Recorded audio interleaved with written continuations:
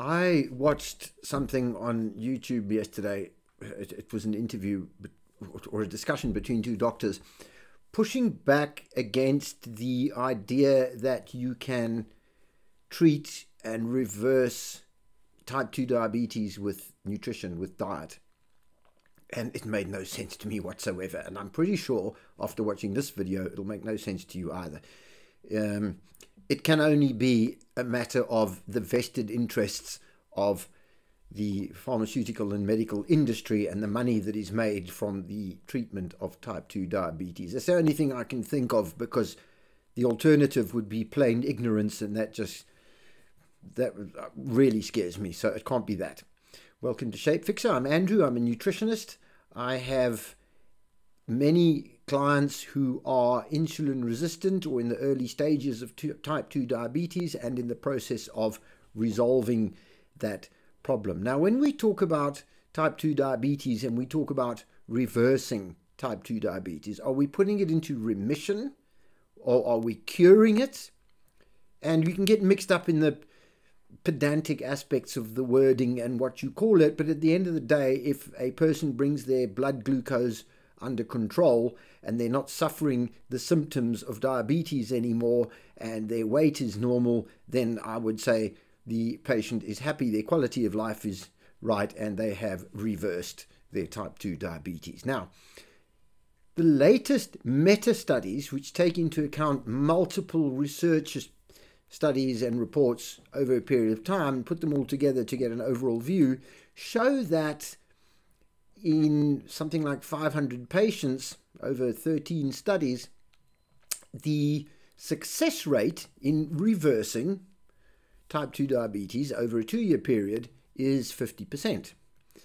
And these doctors were saying that the fact that it is 50% shows that that is not the beginning and end of the story and that nutrition is not the answer to type 2 diabetes. Now, there are two things I want to say about that.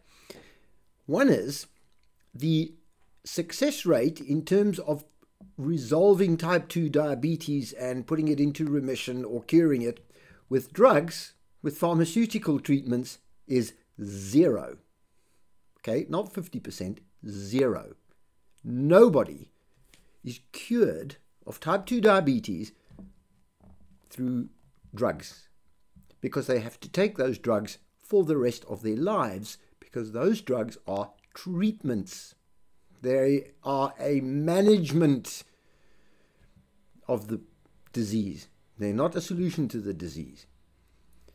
So, if you can resolve 50% of type 2 diabetes cases with nutrition, that is a way better than treating them only with drugs where the resolution rate is zero. That's the first point. The second point is why, and it is a good question, why do why does the other 50% not recover? And the answer is very simple. It depends how long you've had diabetes.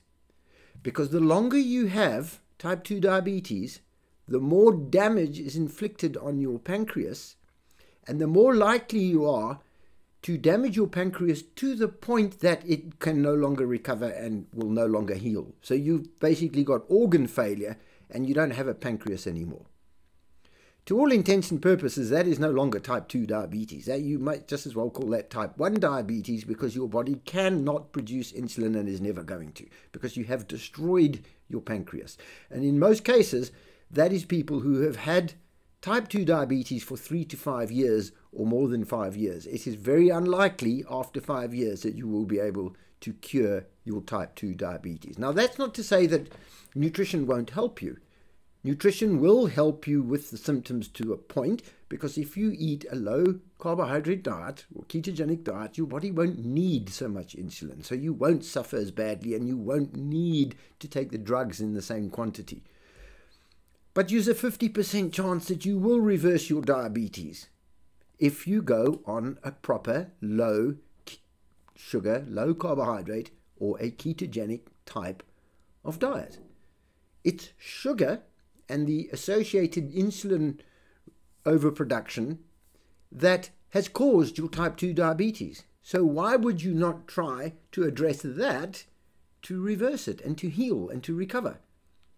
The idea that a diabetic patient should take regular carbohydrates is insane. That's like prescribing alcohol to an alcoholic.